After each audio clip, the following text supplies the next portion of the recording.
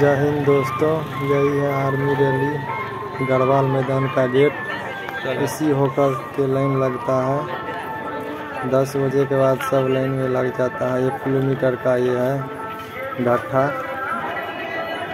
सभी धावा का लगेगा दस बजे के बाद line. Army rally Katiyar Garhwal ground ये सब दुकान है। खाने पीने का सामान मिलता है यहाँ पे अंडा। केला सेब अनार देखिए जो जो बंदा आएगा सब देख लीजिएगा। कैसा गेट है।